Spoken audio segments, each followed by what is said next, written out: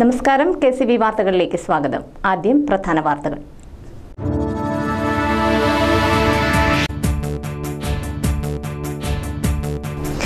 സംസ്ഥാനത്തെ cable T V ഓപ്പറേറ്റർമാരുടെ സംരംഭമായ Kerala Vision land phone service ആരംഭിക്കുന്നു. ഉദ്ഘാടനം മാർച്ച് ഇരുപത്തിയഞ്ചിന്.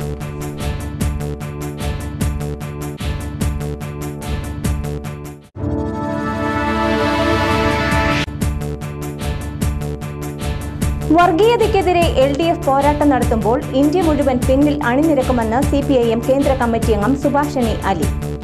കേരളത്തെ വർഗീയതയുടെ നാടാക്കാൻ ആരെയും അനുവദിക്കില്ലെന്നും മുന്നറിയിപ്പ്.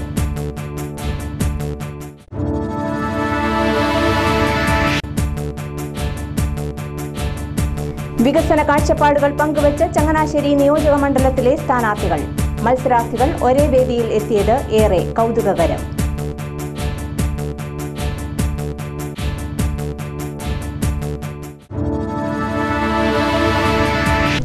വാർത്തകൾ വിശദമായി.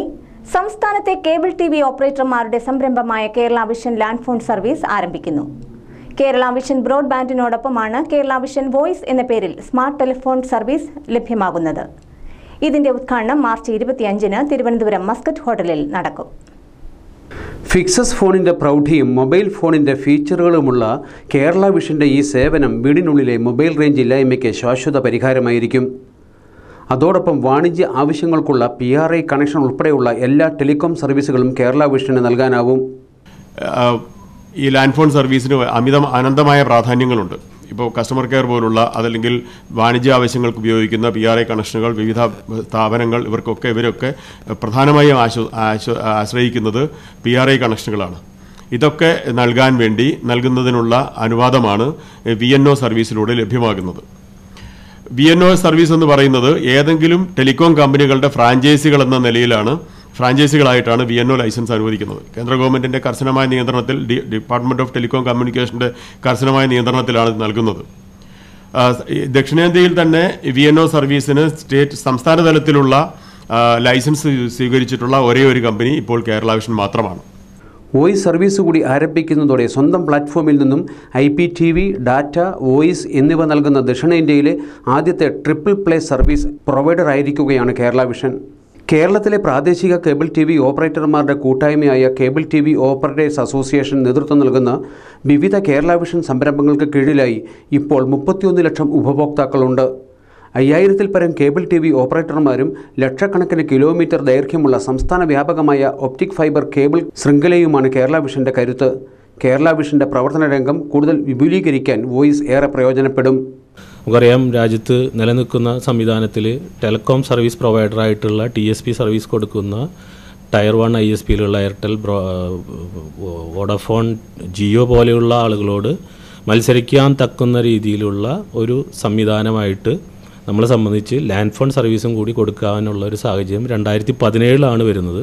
രണ്ടായിരത്തി പതിനാറിലാണ് ഐ എസ് പി ലൈസൻസ് കിട്ടുന്നത്. പിന്നെ അതിന്റെ തുടർ പ്രവർത്തനമായിരുന്നു. നമ്മളെ ഒരു പ്രാദേശിക കേബിൾ ടി വി ഓപ്പറേറ്റർമാരുടെ ഒരു കൂട്ടായ്മ എന്നുള്ള നിലയ്ക്ക് ഏത് സർവീസും കൊടുക്കാവുന്ന രീതിയിൽ അതിനെ പ്രാപ്തരാക്കുന്ന രീതിയിലാണ് ഞങ്ങളുടെ അസോസിയേഷൻ ഉൾപ്പെടെ cable T V operators association തുടക്കം മുതൽ പ്രവർത്തിച്ചിട്ടുള്ളത്. അപ്പോൾ ജനങ്ങൾക്ക് ഏറ്റവും ചുരുങ്ങിയ നിരക്കിൽ സർവീസ് എത്തിക്കുന്നതിന്റെ ഭാഗമായിട്ടാണ് ഇന്ന് ഇപ്പോൾ ഒരു ട്രിപ്പിൾ പ്ലേ സർവീസ് എന്നുള്ള രീതിയിൽ data I P T V അതുപോലെ തന്നെ വോയിസും കൂടി ഈ ഇരുപത്തഞ്ചാം തീയതി ഉദ്ഘാടനത്തിന് ശേഷം നമുക്ക് വീടുകളിലേക്ക് എത്തിക്കാൻ പറ്റും. കേരള വിഷൻ വോയിസിന്റെ ഉദ്ഘാടനം മാർച്ച് ഇരുപത്തഞ്ചിന് തിരുവനന്തപുരം മസ്കറ്റ് ഹോട്ടലിൽ നടക്കും.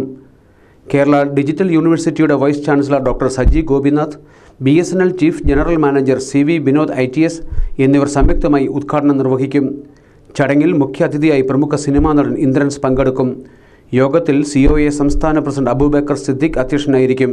K C C L M D P P Suresh Kumar Kerala Vision broadband executive director K Govindan K C C L executive director K Vijayakrishnan എന്നിവർ എറണാകുളത്ത് വാർത്താ സമ്മേളനത്തിൽ ഉദ്ഘാടന പരിപാടികൾ വിശദീകരിച്ചു. വർഗീയതയ്ക്കെതിരെ എൽ ഡി എഫ് പോരാട്ടം നടത്തുമ്പോൾ ഇന്ത്യ മുഴുവൻ പിന്നിൽ അണിനിരക്കുമെന്ന് സി പി ഐ എം കേന്ദ്ര കമ്മിറ്റി അംഗം Subhashini Ali. L D F Changanassery നിയോജക മണ്ഡലത്തിലെ സ്ഥാനാർത്ഥി അഡ്വക്കേറ്റ് ജോബ് മൈക്കിളിന്റെ തെരഞ്ഞെടുപ്പ് പ്രചാരണത്തിന്റെ ഭാഗമായി നടന്ന വനിതാ സംഗമം ഉദ്ഘാടനം ചെയ്യുകയായിരുന്നു അവർ.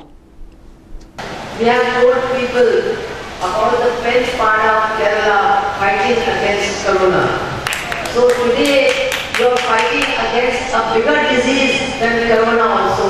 That is the disease of BJP and UDL. And I'm sure that you will win in this battle also. My dear sisters and brothers, you know that I am coming from Uttar Pradesh. And now BJP is saying that Uttar Pradesh is a model state of India with the Chief Minister Yogi Adityanath. And they are saying this, and they are saying that they want to make Uttar Pradesh in Kerala. They want to make Kerala like Uttar Pradesh because that is the modern state of BJP. So I want to tell you what is happening in Uttar Pradesh.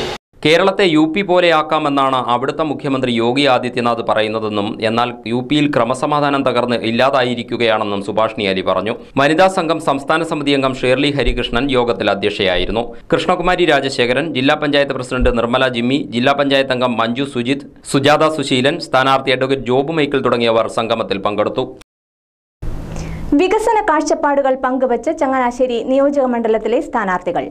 ഞാൻ നയിച്ചാൽ എന്ന പേരിൽ Kurisumoodu media വില്ലേജിൽ സംഘടിപ്പിച്ച സ്ഥാനാർത്ഥി സംഗമവും വികസന സംവാദവും വേറിട്ട അനുഭവമായി. ഗ്രേറ്റർ ചങ്ങനാശ്ശേരി ഡെവലപ്മെന്റ് കൗൺസിലിന്റെയും റേഡിയോ മീഡിയ വില്ലേജിന്റെയും സംയുക്ത ആഭിമുഖ്യത്തിലാണ് ചങ്ങനാശ്ശേരി നിയോജക മണ്ഡലത്തിലെ സ്ഥാനാർത്ഥികളെയും വിവിധ മേഖലകളിൽ നിന്നുള്ള പ്രഗത്ഭരെയും പങ്കെടുപ്പിച്ചുകൊണ്ട് വികസന സംവാദം മീഡിയ വില്ലേജ് ഹാളിൽ സംഘടിപ്പിച്ചത്. സ്ഥാനാർത്ഥികളായ Vijayalali advocate ജോവു Michael advocate G Raman Nair Tijomon Mathew Babichan Mukkadan Nizamuddin എന്നിവർ പരിപാടിയിൽ തങ്ങളുടെ വികസന കാഴ്ചപ്പാടുകൾ പങ്കുവച്ചു. കുടിവെള്ള പദ്ധതിയെ പറ്റി പറഞ്ഞാൽ നാ രണ്ടാമത് എനിക്ക് പറയാനുള്ള പാലങ്ങളുടെ കാര്യമാണ്.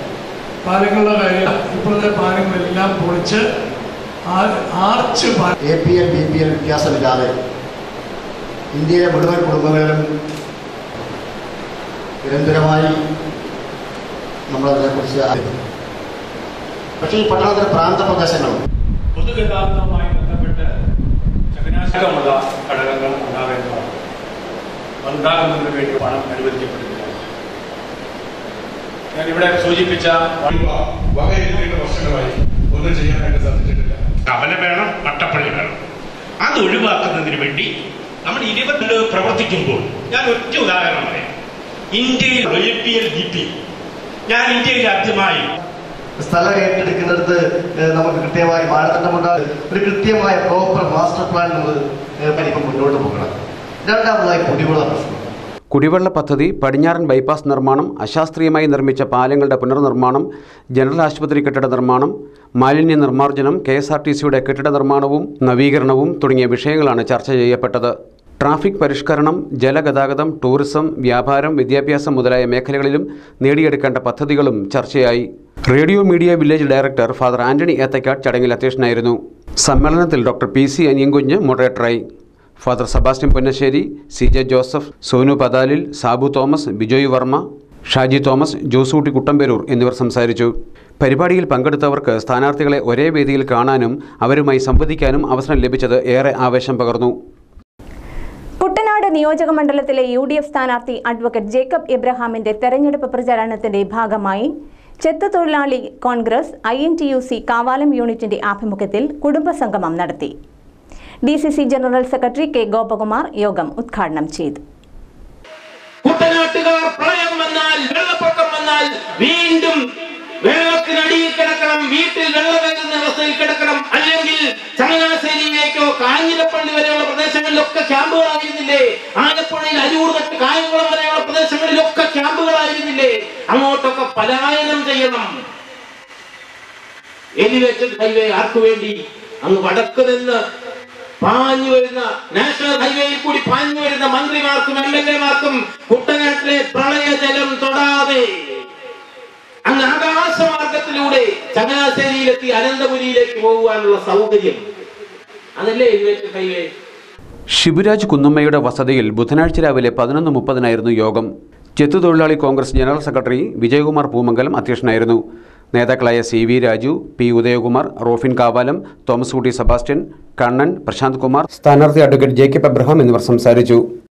വ്യവസായം നിലനിൽക്കുന്നതോടൊപ്പം തന്നെ ഈ മേഖലയിൽ പണിയെടുത്തുകൊണ്ടിരിക്കുന്ന തൊഴിലാളികൾക്ക് അവർക്ക് നിലനിന്ന് പോകാൻ വേണ്ടിയിട്ടുള്ള നടപടികൾ സ്വീകരിക്കുവാൻ തീർച്ചയായിട്ടും യു ഡി എഫിന്റെ സർക്കാർ അധികാരത്തിൽ വന്നു കഴിഞ്ഞാൽ അതിനു വേണ്ടിയിട്ടുള്ള നടപടികൾ സ്വീകരിക്കുന്ന കാര്യത്തിൽ നിങ്ങൾക്ക് ഉറപ്പ് നൽകുന്നു. നിങ്ങളുടെ പ്രശ്നങ്ങൾ എന്താണെന്നുള്ളതിനെ കുറിച്ച് പഠിച്ചുകൊണ്ട് ആ പ്രശ്നങ്ങൾ പരിഹരിക്കുവാനായിട്ടുള്ള പ്രായോഗികമായിട്ടുള്ള നടപടികൾ സ്വീകരിച്ചുകൊണ്ട് അവ പരിഹരിക്കുവാൻ നിങ്ങളുടെ കൂടെ കാണും എന്ന് ഒരിക്കൽ കൂടി ഉറപ്പ് നൽകുന്നു. നമുക്ക് ഒരുമിച്ച് നിൽക്കാം. ഒരുമിച്ച് നിന്നുകൊണ്ട് യു ഡി എഫിന്റെ ഒരു സർക്കാർ രണ്ടായിരത്തി ഇരുപത്തി ഒന്നിൽ ഉണ്ടാകുമ്പോൾ അത് കള്ള് വ്യവസായ മേഖലയെ കൂടി സംരക്ഷിക്കുന്ന ഒരു സർക്കാരായിരിക്കും. താൻ ജയിച്ചു വന്നാൽ കുട്ടനാട്ടിലെ കുടിവെള്ളക്ഷാമം പരിഹരിക്കുന്നതിന് പ്രഥമ പരിഗണന നൽകുമെന്ന് നിയോജകമണ്ഡലത്തിലെ എൻ ഡി എ സ്ഥാനാർത്ഥി തമ്പി മേട്ടുതറ. വിവിധ പ്രദേശങ്ങളിലെ തൊഴിലുറപ്പ് തൊഴിലാളികളെയും ലോഡിംഗ് തൊഴിലാളികളെയും കണ്ട് വോട്ട് അഭ്യർത്ഥിക്കുമ്പോഴായിരുന്നു സ്ഥാനാർത്ഥിയുടെ വാഗ്ദാനം. കുട്ടനാട് നിയോജക മണ്ഡലത്തിലെ എൻ ഡി എ സ്ഥാനാർത്ഥി തമ്പി മേട്ടുതറ ബുധനാഴ്ച പുളിങ്കുന്ന് വിളയനാട് പഞ്ചായത്തുകളിലെ തൊഴിലുറപ്പ് തൊഴിലാളികളെയും ലോഡിംഗ് തൊഴിലാളികളെയും കണ്ട് വോട്ട് അഭ്യർത്ഥിച്ചു പിന്നെ നിങ്ങളൊന്ന് മനസ്സിലാക്കാത്ത സംഭവം. ഇവിടെ ഏറ്റവും കൂടുതൽ ക്യാൻസർ പേഷ്യന്റുള്ള സ്ഥലം ഏതാണെന്നറിയാം കുട്ടനാട് നിങ്ങളാരും മിണ്ടുന്നില്ലല്ലോ. അപ്പൊ ഇതൊക്കെ ഞാൻ ചുരുക്കി സമയം കൊണ്ട് ഞാൻ മനസ്സിലാക്കിയെടുത്തത് അപ്പൊ ഈ വിഷയങ്ങൾക്കൊക്കെ പരിഹാരം ഉണ്ടാവണ്ടേ? ഇത് എന്തുകൊണ്ടാണ് അങ്ങനെ എന്താ ക്യാൻസർ ഉണ്ടാകുന്നത് നമ്മൾ പഠിച്ചിട്ടുണ്ടോ? കുടിവെള്ളം കിട്ടാനില്ല എന്നുള്ള ജനങ്ങളുടെ പരാതി അദ്ദേഹം കേട്ടു. തന്നെ വിജയിപ്പിച്ചാൽ കുട്ടനാട്ടിലെ കുടിവെള്ളക്ഷാമം അടക്കമുള്ള പ്രശ്നങ്ങൾക്ക് പരിഹാരം കാണുമെന്ന് തമ്പി മേട്ടുതറ പറഞ്ഞു. കുടിവെള്ളം ഇല്ലാത്തതിനാൽ വലിയ തരത്തിൽ ബുദ്ധിമുട്ട് അനുഭവന്ന മഹാഭൂരിപക്ഷം ജനങ്ങളെയും ഞാൻ കാണാൻ കഴിച്ചു അതുപോലെ തന്നെ വളരെ പ്രധാനമായൊരു വിഷയം കാർഷിക രംഗത്തുള്ള ചൂഷണമാണ്. കാർഷിക ഏറ്റവും പ്രധാനപ്പെട്ട കേരളത്തിന്റെ നെല്ലറയായ കുട്ടനാട്ടിൽ വലിയ തരത്തിലുള്ള ചൂഷണം നടക്കുന്നുവെന്നാണ് ഞാൻ മനസ്സിലാക്കുന്നത്. അതായത് ഹാൻഡ്ലിംഗ് ചാർജ് ഇനത്തിൽ ഒരു കിൻഡലിന് കിൻഡലിന് അഞ്ച് മുതൽ പത്ത് കിലോ വരെ പാവപ്പെട്ട കർഷകരുടെ കയ്യിൽ നിന്ന് അമിതമായി ഈടാക്കുകയാണ്. അതുപോലെ തന്നെ കർഷകർ ഇത് വലിയ ലാഭമുള്ള കൃഷിയല്ല കൃഷി കൃഷിയെന്ന് നമുക്കറിയാം. അവരെ ഈ രംഗത്തേക്ക് കൊണ്ടുവരുന്നത് തന്നെ നിരന്തരമായുള്ള അവരോടുള്ള നമ്മൾ ഗവൺമെന്റുകളും മറ്റുമുള്ള സെമിനാറുകൾ ക്ലാസ്സുകളിലൂടെയൊക്കെയാണ് കാർഷിക രംഗത്തേക്ക് അവരെ നമ്മൾ താല്പര്യത്തോടെ കൊണ്ടുവന്നുകൊണ്ടിരിക്കുന്നത്. എന്നാൽ അവർക്ക് അതിനുവേണ്ടിയുള്ള ഒരു സഹായം ഗവൺമെന്റ് കൊടുക്കുന്നതിന് പകരം അവരെ ചൂഷണം ചെയ്യുന്നവരെ പ്രോത്സാഹിപ്പിക്കുകയും അവർക്ക് കൊടുക്കേണ്ട ആനുകൂല്യങ്ങളും അവർക്ക് കൊടുക്കേണ്ട സബ്സിഡികളും ഡിലേ ആക്കിക്കൊണ്ട് അവരെ ബുദ്ധിമുട്ടിക്കുന്ന നിലപാടാണ് ഭരണാധികാരികൾ നടപ്പാക്കുന്നത്. ഇത് തെറ്റായ രീതിയാണ്. നേതാക്കളായ M R Sajeev D Prasannakumar Subhash Parambassery C L Lajumon A G Subhash K P Subeesh S Shyamjith എന്നിവർ തമ്പി മേട്ടുതറയ്ക്കൊപ്പമുണ്ടായിരുന്നു. ചെങ്ങന്നൂർ നിയമസഭാ മണ്ഡലം എൽ ഡി എഫ് സ്ഥാനാർത്ഥി സജി ചെറിയാൻ ഒന്നാം ഘട്ട സ്വീകരണ പര്യടനം ആരംഭിച്ചു. ബുധനാഴ്ച രാവിലെ മുളക്കുഴ നികരുപുറത്ത് സി പി എം സംസ്ഥാന കമ്മിറ്റി അംഗം സി എസ് സുജാത പര്യടന പരിപാടി ഉദ്ഘാടനം ചെയ്തു. കഴിഞ്ഞ മൂന്ന് അഞ്ച് വർഷക്കാലം കൊണ്ട് ചെങ്ങന്നൂരിനെ കേരളത്തിലെ നമ്പർ വൺ വികസിത മണ്ഡലമാക്കി മാറ്റി ഈ നാടിനെ നഗരത്തിന് തൊട്ട് പിന്നാലെ കടന്നു വരികയാണ്. പ്രിയമുള്ളവരെ പ്രിയപ്പെട്ടവരെ അനുഗ്രഹിക്കണം ആശീർവദിക്കണം സഹോദരി സഹോദരന്മാർ കുഞ്ഞനുജന്മാർ അനുജത്തിമാർ നൽകിയ സ്നേഹനിർഭരമായ ആവേശോജ്ജലമായ സ്വീകരണങ്ങൾ ഏറ്റുവാങ്ങിക്കൊണ്ട് സഖാവ് സജി ചെറിയാരി വാഹനത്തിന് തൊട്ട് പിന്നാലെ കടന്നു വരുന്നു. എല്ലാ കേന്ദ്രങ്ങളിലും കൊച്ചുകുട്ടികളും സ്ത്രീകളും ഉൾപ്പെടെ നിരവധി വോട്ടർമാരാണ് ഹാരമണിയിച്ചുകൊണ്ട് സ്ഥാനാർത്ഥിയെ സ്വീകരിച്ചത്. കഴിഞ്ഞ കാലങ്ങളിൽ ചെയ്ത വികസന പ്രവർത്തനങ്ങൾ ചൂണ്ടിക്കാട്ടിയാണ് സജി ചെറിയൻ ജനങ്ങളോട് വോട്ട് അഭ്യർത്ഥിക്കുന്നത് നിങ്ങൾക്ക് ക്ഷേമ പെൻഷൻ നിങ്ങളുടെ വീട്ടിൽ രണ്ടായിരത്തി അഞ്ഞൂറ് എത്തുന്നു. ആയിരത്തി അറുന്നൂറ് പേരാൻ വിജയിപ്പിക്കണം എന്റെ തെരഞ്ഞെടുപ്പ് പ്രവർത്തനത്തിൽ ഇനിയുള്ളതാണ് എല്ലാ വീട്ടിലും വന്ന് വോട്ടഭ്യർത്ഥിക്കാൻ കഴിയില്ല എന്നറിയാം എല്ലാ കാര്യവും ഞാൻ നെഹ്റുപുറത്ത് നിന്ന് ജാഥ തുടങ്ങുമ്പോൾ ട്രീറ്റ്മെന്റ് പ്ലാന്റിന്റെ ഓവർഹെഡ് ടാങ്കിന്റെ നിർമ്മാണം അഞ്ച് മാസമാണ് ഞങ്ങൾക്ക് പ്രവർത്തിക്കാൻ പറ്റി. എല്ലാ രംഗത്തും പിന്നിപ്പോയൊരു മണ്ഡലമായി. കുടിവെള്ളമില്ല നല്ല റോഡില്ല.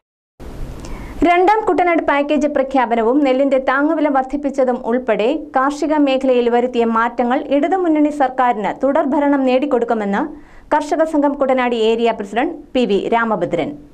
അതുകൊണ്ട് തന്നെ കുട്ടനാട്ടിൽ എൽ ഡി എഫ് സ്ഥാനാർത്ഥി തോമസ് കെ തോമസിന്റെ വിജയം ഉറപ്പാണെന്നും അദ്ദേഹം പറഞ്ഞു. കുട്ടനാടിന്റെ ചരിത്രത്തിൽ കൃഷിക്കാർക്ക് ഇതുപോലെ സഹായം കിട്ടിയ മറ്റൊരു ഭരണം കേരളത്തിൽ ഉണ്ടായിട്ടില്ലെന്ന് പി വി രാമഭദ്രൻ പറഞ്ഞു. കഴിഞ്ഞ അഞ്ചു വർഷത്തിനുള്ളിൽ നാലു പ്രാവശ്യം നെല്ലിന്റെ വില വർദ്ധിപ്പിക്കാൻ എൽ ഡി എഫ് സർക്കാരിന് കഴിഞ്ഞു. കൃഷിക്കാരന് ഇന്ത്യയിൽ ആദ്യമായി റോയൽറ്റിയും ക്ഷേമനിധിയും നടപ്പിലാക്കിയ സർക്കാരാണ് ഇതെന്നും രാമഭദ്രൻ വ്യക്തമാക്കി. കുട്ടനാടിന്റെ ചരിത്രത്തിൽ കൃഷിക്കാരന് ഇതുപോലെ സഹായം കിട്ടിയ ഒരു കാലം ഇതിനു മുൻപ് ഉണ്ടായിട്ടില്ല. ഇടതുപക്ഷ ജനാധിപത്യ മുന്നണി ഗവൺമെന്റ് അധികാരത്തിൽ വന്നതിന് ശേഷം നാല് പ്രാവശ്യമാണ് നെല്ലിന്റെ വില വർദ്ധിപ്പിച്ചത്. ശ്രീ ഉമ്മൻചാണ്ടി അധികാരത്തിൽ നിന്ന് പോകുമ്പോൾ ഇരുപത്തിയൊന്ന് രൂപയായിരുന്ന നെല്ലിന്റെ വില ഇന്ന് ഇരുപത്തിയേഴ് രൂപ നാൽപ്പത്തെട്ട് പൈസയായി ഈ ഗവൺമെന്റിന്റെ കാലഘട്ടത്തിൽ വർദ്ധിച്ചു ഈ ഏപ്രിൽ ഒന്ന് മുതൽ ആ നെല്ലിന്റെ വില ഇരുപത്തിയെട്ട് രൂപയാകാൻ പോവുകയാണ്.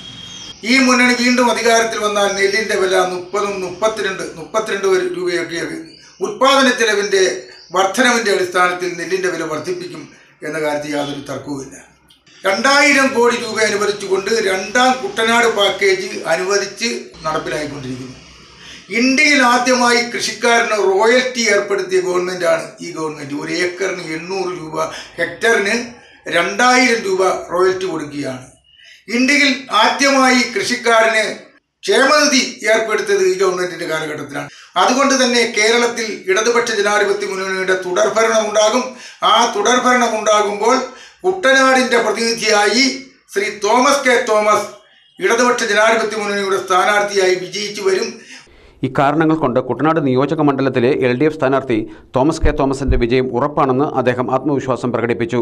മങ്കൊമ്പിൽ കെ സി വി ന്യൂസ് പ്രതിനിധിയോട് സംസാരിക്കുകയായിരുന്നു പി വി രാമഭദ്രൻ. സ്ഥാനാർത്ഥികളോടും പ്രതിനിധികളോടും സംവദിച്ചും അവരുടെ സംശയങ്ങൾ ദൂരീകരിച്ചും തെരഞ്ഞെടുപ്പ് നിരീക്ഷകർ. നിയമസഭാ തെരഞ്ഞെടുപ്പിൽ മത്സരിക്കുന്ന സ്ഥാനാർത്ഥികൾക്കും പ്രതിനിധികൾക്കുമായി പത്തനംതിട്ട കളക്ട്രേറ്റിൽ നടത്തിയ യോഗത്തിലാണ് നിരീക്ഷകർ സംവാദം നടത്തിയത്. തെരഞ്ഞെടുപ്പുമായി ബന്ധപ്പെട്ട സ്ഥാനാർത്ഥികൾ പൊതുവായി അറിയേണ്ട കാര്യങ്ങൾ പവർ പോയിന്റായി അവതരിപ്പിച്ചു. തെരഞ്ഞെടുപ്പിൽ സ്ഥാനാർത്ഥികളുടെ ചെലവ് സംബന്ധിച്ച റിപ്പോർട്ട് പ്രതിദിനം അസിസ്റ്റന്റ് ചെലവ് നിരീക്ഷകന് സമർപ്പിക്കണം. ജില്ലയിലെ ആയിരത്തി അഞ്ഞൂറ്റി മുപ്പത് പോളിംഗ് സ്റ്റേഷനുകളിൽ എഴുന്നൂറ്റി പതിനാറ് പോളിംഗ് സ്റ്റേഷനുകളിലും വെബ്കാസ്റ്റിംഗ് സംവിധാനം ഏർപ്പെടുത്തും. കേന്ദ്ര തെരഞ്ഞെടുപ്പ് കമ്മീഷൻ നിർദ്ദേശിച്ചിട്ടുള്ള കാര്യങ്ങൾ സ്ഥാനാർത്ഥികൾ പാലിക്കണമെന്നും ഏതെങ്കിലും തരത്തിലുള്ള പരാതികളുണ്ടെങ്കിൽ നിരീക്ഷകരെ നേരിട്ടോ ഫോൺ മുഖേന അറിയിക്കാമെന്നും നിരീക്ഷകർ പറഞ്ഞു So we are both of us general observers. We are staying at the uh, guest house, and for your convenience and convenience of any anybody who wants to complain, we will be available in the guest house in the morning from 8:30 to 9:30, and our numbers have already been uh, circulated and uh, repeated by collector. Uh, we are here you you may be aware that the role of observers is to observe that election is free, fair, and conducted in a transparent manner.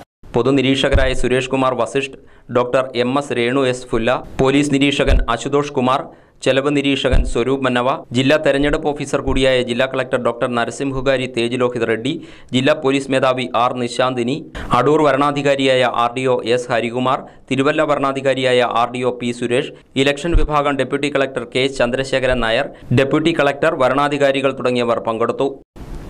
Kerala water authority Edathua Kidangara section ഓഫീസുകളുടെ പരിധിയിൽ വരുന്ന പഞ്ചായത്തുകളിലെ വെള്ളക്കര കുടിശ്ശിക വരുത്തിയ ഉപഭോക്താക്കളുടെ കണക്ഷനുകൾ വിച്ഛേദിക്കുന്ന നടപടി ആരംഭിച്ചു. നിലവിൽ അഞ്ച് കണക്ഷനുകൾ വിച്ഛേദിച്ചു കഴിഞ്ഞു. കുടിശ്ശിക ഉള്ളവരുടെ കണക്ഷനുകൾ ഇനിയും ഒരു മുന്നറിയിപ്പില്ലാതെ തന്നെ വിച്ഛേദിക്കുമെന്നും നിയമ നടപടി സ്വീകരിക്കുമെന്നും അസിസ്റ്റന്റ് എക്സിക്യൂട്ടീവ് എഞ്ചിനീയർ അറിയിച്ചു. ഇടവേള. കെ സി ബി വാർത്തകൾ നിങ്ങൾക്കായി അവതരിപ്പിക്കുന്നത് ഹലോ എന്തായി? ക്യാഷ് റെഡിയായോ ആ റെഡിയായി സത്യമായിട്ടും? നിന്റെ അമ്മയുടെ തീരുമാനം ശരി. പ്രിൻസിൽ നിന്ന് വാങ്ങിയ ഗോൾഡ് നയൻ വൺ സിക്സ് ആയതുകൊണ്ട് അതിന് കൂടുതൽ പണം കിട്ടി. അതുകൊണ്ട് ഇനി നമ്മൾ ആദ്യം കണ്ട ആ വലിയ വില്ല തന്നെ വാങ്ങും.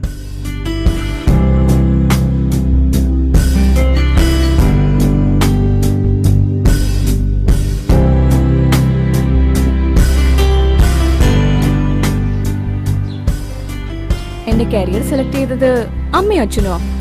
അതെ. പക്ഷേ നിനക്ക് ഇഷ്ടപ്പെട്ട ജോലി തന്നെ കിട്ടിയില്ലേ? കല്യാണ ചെറുക്കനെയും നിങ്ങൾ തന്നെ തീരുമാനിച്ചു. ചെറുക്കനെ നിനക്ക് ഇഷ്ടപ്പെടുകയും ചെയ്തല്ലോ. വെഡിങ് ഡ്രസ് സെലക്ട് ചെയ്യുന്നത് ചെറുക്കന്റെ വീട്ടുകാര്. അപ്പൊ പിന്നെ എനിക്ക് സെലക്ട് ചെയ്യാൻ ഒന്നുണ്ട്. അതും അറിയാം.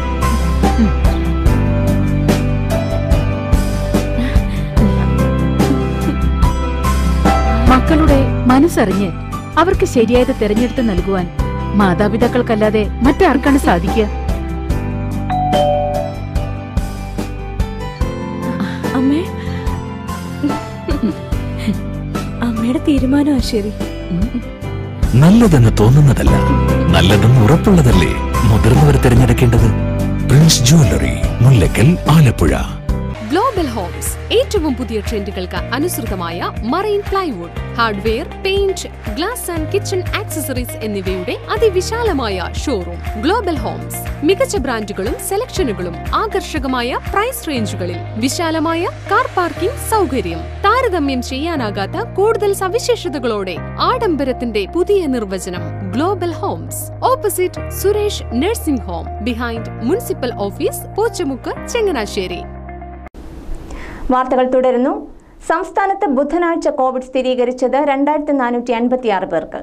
രോഗമുക്തരുടെ എണ്ണം രണ്ടായിരത്തി അറുപത് കഴിഞ്ഞ ഇരുപത്തിനാല് മണിക്കൂറിനുള്ളിൽ അൻപത്തി ആറായിരത്തി എഴുന്നൂറ്റി നാൽപ്പത് സ്രവ സാമ്പിളുകളാണ് പരിശോധിച്ചത്. ഇന്നത്തെ ടെസ്റ്റ് പോസിറ്റിവിറ്റി നിരക്ക് നാല് ദശാംശം മൂന്ന് മൂന്ന് ശതമാനമാണ്. ബുധനാഴ്ച കോവിഡ് സ്ഥിരീകരിച്ചവരിൽ രണ്ടായിരത്തി ഒരുന്നൂറ്റി നാൽപ്പത്തിയാറ് പേർക്ക് സമ്പർക്കത്തിലൂടെയാണ് രോഗബാധ. ഇതിൽ നൂറ്റി എൺപത്തിയേഴ് പേരുടെ രോഗ ഉറവിടം വ്യക്തമല്ല. ഇന്ന് രോഗം ബാധിച്ചവരിൽ സംസ്ഥാനത്ത് പുറത്തുനിന്ന് വന്ന നൂറ്റി അഞ്ച് പേരും പതിനെട്ട് ആരോഗ്യ പ്രവർത്തകരും ഉൾപ്പെടുന്നു. കോവിഡ് ബാധിച്ച് പത്ത് പേർ കൂടി മരിച്ചതായി റിപ്പോർട്ട് വന്നപ്പോൾ ആകെ മരണസംഖ്യ നാലായിരത്തി അഞ്ഞൂറ്റി ഇരുപത്തിയേഴായി ഉയർന്നു. പത്തനംതിട്ട ജില്ലയിൽ നൂറ്റി പതിനേഴ് പേർക്കും ആലപ്പുഴ ജില്ലയിൽ തൊണ്ണൂറ്റിനാല് പേർക്കും കോട്ടയം ജില്ലയിൽ നൂറ്റി തൊണ്ണൂറ്റിയൊന്ന് പേർക്കും ബുധനാഴ്ച കോവിഡ് സ്ഥിരീകരിച്ചു. പത്തനംതിട്ട നൂറ് ആലപ്പുഴ എൺപത്തി ഒൻപത് കോട്ടയം നൂറ്റി എഴുപത്തിനാല് എന്നിങ്ങനെയാണ് സമ്പർക്ക രോഗികളുടെ എണ്ണം. പത്തനംതിട്ട ജില്ലയിൽ നൂറ്റി പതിമൂന്ന് പേരും ആലപ്പുഴ ജില്ലയിൽ നൂറ്റി ഇരുപത്തിയേഴ് പേരും കോട്ടയം ജില്ലയിൽ ഇരുന്നൂറ്റി പന്ത്രണ്ട് പേരും ബുധനാഴ്ച കോവിഡിൽ നിന്നും മുക്തരായി. ഇപ്പോൾ കോവിഡ് സ്ഥിരീകരിച്ച് ഇരുപത്തിനാലായിരത്തി ഇരുന്നൂറ്റി അറുപത്തിയെട്ട് പേരാണ് സംസ്ഥാനത്ത് ചികിത്സയിലുള്ളത്. കോവിഡ് വ്യാപനം തടയാൻ സംസ്ഥാനത്ത് സമ്പൂർണ ലോക്ഡൌൺ പ്രഖ്യാപിച്ചിട്ട് ഒരു വർഷം പൂർത്തിയായി. കഴിഞ്ഞ വർഷം മാർച്ച് ഇരുപത്തിമൂന്നിന് വൈകിട്ട് അഞ്ചിന് വാർത്താ സമ്മേളനത്തിലായിരുന്നു നിർണായക പ്രഖ്യാപനം. ലോക്ക്ഡൌൺ പ്രഖ്യാപിച്ച വർഷം ഒന്ന് പിന്നിടുമ്പോൾ കോവിഡിനൊപ്പം ജീവിക്കാൻ ശീലിച്ചിരിക്കുകയാണ് ജനങ്ങൾ. ആദ്യം ഏഴ് ദിവസത്തേക്ക് അതിർത്തികളെല്ലാം അടച്ചു. മാർച്ച് ഇരുപത്തിനാലിന് പ്രധാനമന്ത്രി ഇരുപത്തിയൊന്ന് ദിവസത്തേക്ക് രാജ്യത്താകെ ലോക്ക്ഡൗൺ പ്രഖ്യാപിച്ചു. പിന്നീട് മെയ് മൂന്നിലേക്കും പതിനേഴിലേക്കും മുപ്പത്തിയൊന്നിലേക്കും ലോക്ക്ഡൗൺ നീണ്ടു. തുടർന്ന് ജൂൺ മുതൽ ചെറിയ ഇളവുകൾ നൽകി തുടങ്ങി. ഏഴ് ഘട്ടമായി ഡിസംബർ വരെ ഇത് തുടർന്നു. നിയന്ത്രണങ്ങളിൽ അയവ് വരുത്തിയെങ്കിലും റെയിൽ വിമാന സർവീസുകൾ ഇപ്പോഴും സാധാരണ നിലയിലായിട്ടില്ല. ലോക്ഡൌണും നിയന്ത്രണങ്ങളും നിർദ്ദേശങ്ങളുമായി ഭരണകൂടം ഉണർന്നു പ്രവർത്തിച്ചപ്പോൾ ജനങ്ങൾ ക്രമേണ കോവിഡുമായി പൊരുത്തപ്പെട്ടു. സാനിറ്റൈസറും മാസ്കും ജീവിതത്തിന്റെ ഭാഗമായി. ഗ്രാമപ്രദേശങ്ങളിലെ ചെറുകടകളിൽ പോലും മാസ്കുകളുടെ തോരണങ്ങളും വിവിധ വർണങ്ങളിൽ സാനിറ്റൈസർ കുപ്പികളും നിറഞ്ഞു. പുതിയ മനുഷ്യരായാണ് ഇപ്പോൾ ഓരോരുത്തരും പുറത്തിറങ്ങുന്നത്. എല്ലാവരും കോവിഡിനൊപ്പം ജീവിക്കാൻ പഠിച്ചു. മഹാമാരി താണ്ഡവമാടിയപ്പോൾ ജോലി നഷ്ടപ്പെട്ട് വരുമാനമില്ലാതായത് നിരവധി പേർക്കാണ്. പലരും ജീവിക്കാനായി പുതിയ പല പരീക്ഷണങ്ങളിലും ഏർപ്പെട്ടു. ലോക്ക്ഡൌൺ ഒരാണ്ട് പിന്നിടുമ്പോൾ സംസ്ഥാനത്ത് സ്ഥിതി നിയന്ത്രണ വിധേയമാണ്. എന്നാൽ മഹാരാഷ്ട്ര ഉൾപ്പെടെയുള്ള മറ്റു സംസ്ഥാനങ്ങളിൽ പ്രതിദിന കോവിഡ് കേസുകൾ വീണ്ടും ഉയരുകയാണ്. ഇനിയൊരു ലോക്ക്ഡൌൺ ചിന്തിക്കാൻ പോലും കഴിയില്ല. വാക്സിൻ എത്തിയതോടെ കോവിഡിനെ പൊരുതി തോൽപ്പിക്കാനുള്ള മനസ്സോടെ ജീവിക്കുകയാണ് മുന്നിലുള്ള ഏക മാർഗം. ഒപ്പം അതിജീവനത്തിന്റെ പുതിയ പാത കണ്ടെത്തുകയാണ് ഏറ്റവും വലിയ വെല്ലുവിളി. ഗൾഫ് നാടുകളിൽ സ്വദേശിവൽക്കരണം നടപ്പാക്കാൻ ശ്രമിക്കുന്നതും കോവിഡിനൊപ്പം പ്രവാസിക്ക് വെല്ലുവിളിയായി തുടരുന്നു. ടൂറിസം ഉൾപ്പെടെ പല മേഖലകളും ഇപ്പോഴും സ്തംഭിച്ചു തന്നെ ഇരിക്കുകയാണ്. കലാകാരന്മാർ ഉൾപ്പെടെയുള്ളവർ ഇന്നും അർത്ഥപട്ടിണിയിലാണ്. മഹാമാരി പൂർണമായും ഒഴിഞ്ഞു പോകുന്ന നല്ല ഒരു നാളേക്കായി നിത്യവും സ്വപ്നം കാണുകയാണ് ഓരോ സാധാരണക്കാരനും. ആലപ്പുഴ ജില്ലാ ടി ബി കേന്ദ്രത്തിന്റെ ആഭിമുഖ്യത്തിൽ നടത്തിയ ക്ഷയരോഗ ദിനാചരണം ശ്രദ്ധേയം. സമയമാകുന്നു കടികാരം പിടിക്കുന്നു എന്നതായിരുന്നു ഈ വർഷത്തെ ക്ഷയരോഗ ദിന സന്ദേശം. മാർച്ച് ഇരുപത്തിനാല് ക്ഷയരോഗ ദിനം ഈ ദിനാചരണത്തിന്റെ ഭാഗമായി നാടെങ്ങും ബോധവൽക്കരണ പരിപാടികൾ നടത്തി ആലപ്പുഴ ജില്ലാ ടി ബി കേന്ദ്രത്തിന്റെ ആഭിമുഖ്യത്തിൽ കളക്ട്രേറ്റിലെ ജില്ലാ പഞ്ചായത്ത് ഹാളിലായിരുന്നു ദിനാചരണ പരിപാടികൾ. ഇതോടനുബന്ധിച്ച് ചേർന്ന സമ്മേളനം പ്രശസ്ത സംഗീത സംവിധായകൻ ആലപ്പി ഋഷികേഷ് ഉദ്ഘാടനം ചെയ്തു. അസുഖം പിടിപെട്ട് കഴിഞ്ഞാൽ പിന്നെ വീട്ടുകാർക്ക് ഇദ്ദേഹത്തെ വേണ്ടാതാണ് ചുമച്ചാൽ കൂടുതൽ സമയം ചുമക്കുന്നത് തന്നെ ഒന്നെങ്കിൽ മകന്റെ ഭാര്യ അല്ലെങ്കിൽ ഇപ്പൊ മോളുടെ കൂടെ ആണെങ്കിൽ മോൾ തന്നെ പറഞ്ഞു കൊടുക്കും അച്ഛനെ ചുമക്കാതെ പുറത്തെങ്ങാനും പോലും ചുമക്കുന്ന പറഞ്ഞ് ഒരു അപകടന ഈ രോഗിക്ക് കൊടുക്കുന്നത്. അന്നത്തെ നാടകങ്ങളിൽ ഇതൊരു സ്ഥിരം ക്യാരക്ടറായിരുന്നു ഒന്നെങ്കിൽ ഒരു ക്ഷയരോഗിയായിരിക്കും അല്ലെങ്കിൽ ഒരു കുഷ്ഠരോഗിയായിരിക്കും. അന്നത്തെ കാലത്ത് അങ്ങനെയാണ് നാടകം. പക്ഷെ ഈ നാടക മത്സരത്തിനൊക്കെ ചെന്നാൽ ഒന്നെങ്കിൽ ക്ഷയരോഗിയായിട്ട് അഭിനയിക്കുന്ന ആൾക്ക് അല്ലെങ്കിൽ ഈ കുഷ്ഠരോഗിയായിട്ട് അഭിനയിക്കുന്ന ആൾക്കായിരിക്കും പ്രൈസ് കിട്ടുന്നത് കാരണം അയാളുടെ മുഖത്ത് മുഴുവൻ കരിയൊക്കെ വാരി പുരട്ടി കുഷ്ഠരോഗിയുടെ കൈയൊക്കെ ഇങ്ങനെയൊക്കെ പിടിച്ചു കഴിയുമ്പോൾ ഇത് കഴിഞ്ഞ് ഇവിടെ ചിതപ്പോ പഞ്ഞിയൊക്കെ വെച്ച് ഒട്ടിച്ച് കഴിയുമ്പോൾ മിക്കവാറും ജഡ്ജിയായിരിക്കുന്നവർക്ക് പോലും അറപ്പ് തോന്നുന്ന രീതിയിലായിരിക്കും ആ ക്യാരക്ടറൊക്കെ കരുതുന്നത് പക്ഷെ കാലം മാറി. ഇപ്പൊ ഈ അടുത്ത കാലത്ത് തന്നെ നമ്മളൊക്കെ ഒരു വർഷമായി ജില്ലാ medical officer doctor L Anithakumari അധ്യക്ഷയായിരുന്നു. Collector A Alexander മുഖ്യപ്രഭാഷണം നടത്തി. Deputy D M O doctor Anu Varghese പ്രതിജ്ഞാവാചകം ചൊല്ലിക്കൊടുത്തു. ഡോക്ടർമാരായ കെ ആർ രാധാകൃഷ്ണൻ ദീപ്തി തുടങ്ങിയവർ സംസാരിച്ചു. സമ്മേളനത്തെ തുടർന്ന് ഡോക്ടർ സൈറു ഫിലിപ്പ് ക്ഷയരോഗ ബോധവത്കരണ ക്ലാസ് നടത്തി. മാന്നാറിൽ യുവതിയെ തട്ടിക്കൊണ്ടുപോയ സംഭവത്തിൽ മൂന്ന് പ്രതികൾ കൂടി പിടിയിൽ കൊടുങ്ങല്ലൂർ സ്വദേശികളായ ഷിഹാബ് സജ്ജാദ് ഫൈസൽ എന്നിവരെയാണ് മാന്നാർ പോലീസ് പിടികൂടിയത്. ഇതോടെ കേസിൽ അറസ്റ്റിലായവരുടെ എണ്ണം പത്തായി. യുവതിയെ തട്ടിക്കൊണ്ടുപോയവരിൽ നേരിട്ട് പങ്കാളികളായവരാണ് ഇവർ മൂന്ന് പേരുമെന്ന് പോലീസ് പറയുന്നു. കഴിഞ്ഞ ഇരുപത്തിരണ്ടിന് പുലർച്ചെ രണ്ടോടെയാണ് സ്വർണക്കടത്ത് സംഘം വീടാക്രമിച്ച് യുവതിയെ തട്ടിക്കൊണ്ടുപോയത് അന്നുച്ചയോടെ പാലക്കാട് വടക്കഞ്ചേരിയിൽ യുവതിയെ ഇറക്കിവിടുകയും തുടർന്ന് പോലീസാണ് യുവതിയെ മാന്നാറിലെത്തിച്ചത്. മർദ്ദനത്തെ തുടർന്ന് നട്ടലിന് പരിക്കേറ്റ യുവതി ശസ്ത്രക്രിയ കഴിഞ്ഞ് ചികിത്സയിലാണ്. ദുബായിൽ നിന്ന് നാട്ടിലെത്തിക്കാൻ ഏൽപ്പിച്ച ഒന്നര കിലോ സ്വർണം കേരളത്തിലെ സംഘത്തിന് കൈമാറാത്തതാണ് യുവതിയെ തട്ടിക്കൊണ്ടുപോയതിന് പിന്നിലെന്നാണ് പോലീസ് കണ്ടെത്തൽ. മാന്നാർ പോലീസ് ഇൻസ്പെക്ടർ എസ് ന്യൂമാന്റെ നേതൃത്വത്തിലുള്ള പോലീസ് സംഘമാണ് പ്രതികളെ അറസ്റ്റ് ചെയ്തത്. ഇനിയും ഈ കേസിൽ പിടികൂടാനുള്ള പ്രതികൾക്കായി തിരച്ചിൽ നടക്കുന്നുണ്ടെന്നും എത്രയും വേഗം പ്രതികളെ പിടികൂടുമെന്നും പോലീസ് അറിയിച്ചു. മങ്കൊമ്പ് തെക്കേക്കര പുല്ലമ്പില ശ്രീ ദുർഗാദേവി ക്ഷേത്രത്തിലെ പതിമൂന്നാമത് പുനഃപ്രതിഷ്ഠാ വാർഷികാഘോഷങ്ങൾ ഭക്തിസാന്ദ്രമായി. ക്ഷേത്രം തന്ത്രി ബ്രഹ്മശ്രീ ദിലീപ് നാരായണൻ നമ്പൂതിരിയുടെ മുഖ്യ കാർമ്മികത്വത്തിലായിരുന്നു ചടങ്ങുകൾ. രാവിലെ അഞ്ചു മുപ്പതിന് പള്ളി ഉണർത്തൽ ഉഷപൂജ എന്നിവയ്ക്ക് ശേഷം ഗണപതി ഹോമവും പത്ത് മണിക്ക് കലശവും നടന്നു.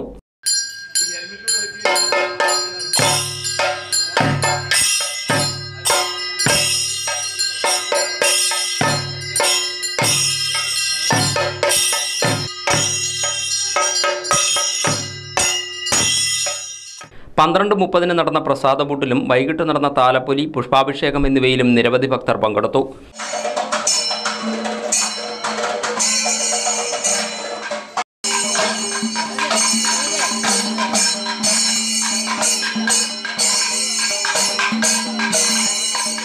വിശേഷാൽ ദീപാരാധന അത്താഴപൂജ എന്നിവയോടെയാണ് ചടങ്ങുകൾക്ക് സമാപനമായത്.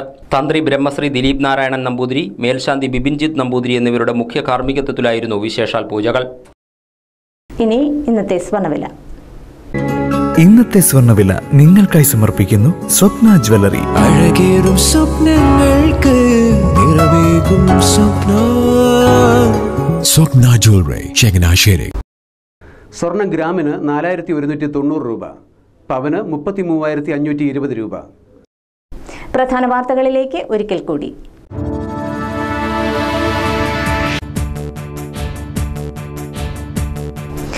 സംസ്ഥാനത്തെ കേബിൾ ടി വി ഓപ്പറേറ്റർമാരുടെ സംരംഭമായ Kerala Vision land phone service ആരംഭിക്കുന്നു. ഉദ്ഘാടനം മാർച്ച് ഇരുപത്തിയഞ്ചിന്.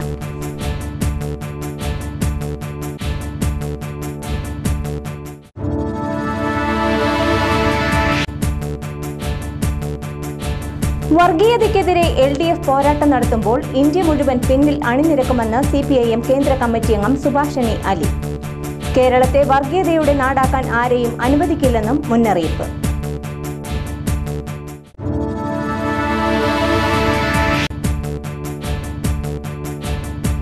വികസന കാഴ്ചപ്പാടുകൾ പങ്കുവച്ച് ചങ്ങനാശ്ശേരി നിയോജക മണ്ഡലത്തിലെ സ്ഥാനാർത്ഥികൾ. മത്സരാർത്ഥികൾ ഒരേ വേദിയിൽ എത്തിയത് ഏറെ കൗതുകകരം.